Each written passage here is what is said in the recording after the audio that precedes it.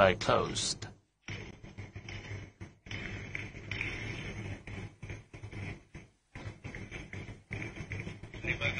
Thank you.